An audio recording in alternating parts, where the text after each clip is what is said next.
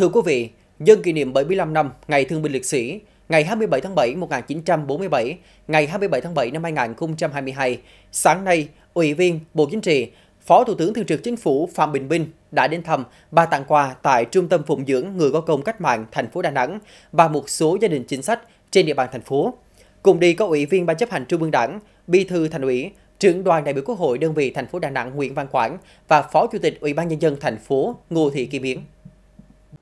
Tại Trung tâm Phụng dưỡng người có công cách mạng thành phố Đà Nẵng, thay mặt lãnh đạo Đảng, Nhà nước, Phó Thủ tướng Thường trực Chính phủ Phạm Bình Minh bày tỏ lòng tri ân sâu sắc đối với những người có công cách mạng đã công hiến cho sự nghiệp đấu tranh giải phóng dân tộc, thống nhất đất nước, đồng thời bày tỏ mong muốn các cụ tiếp tục sống vui, sống khỏe, làm chỗ dựa tinh thần cho các thế hệ hôm nay.